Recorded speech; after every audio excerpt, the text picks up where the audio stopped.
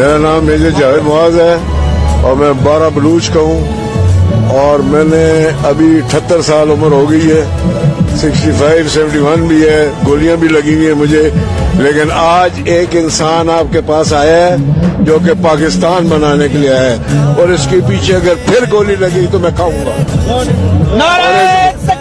और ये और ये आदमी एक सच्चा आदमी है। और मेरा ये बहुत मेरे ये मेरे छोटे भाई के साथ पढ़ता था इस सिंध में। और मैं इसको बहुत अच्छी तरह जानता हूँ। जब मैं पाकिस्तान के लिए पोलो खेलता था ये क्रिकेट में उस वक्त आया था। और मैं उस वक्त से इसको वोट देता हूँ। और अल्लाह इसको ज़िंदगी दे हर जगह जाएँगे गोली खाएँगे इसके पीछे और लड़ेंगे इसके पीछे। कौन बचाएगा पाकिस्तान? जो कहा है वो करके दिखाएँगे हम जो भी वादा